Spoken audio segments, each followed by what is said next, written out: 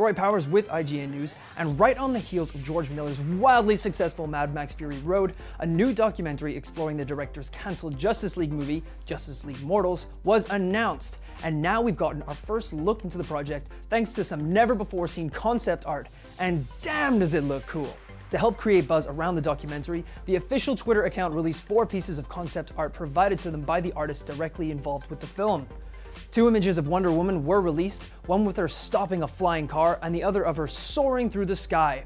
The account also released concept art depicting one of the many designs for Aquaman. The concept art, which I should clarify was not the final design, shows Aquaman complete with scales, gills, seaweed, and a solid water hand. Finally, the account released a head sculpt for Martian Manhunter, now, while we may never know what George Miller's Justice League might have looked like, two Justice League movies will finally arrive on the big screen very soon, following director Zack Snyder's 2016 film Batman v Superman Dawn of Justice. Until then, all the latest DC news you can find right here at IGN.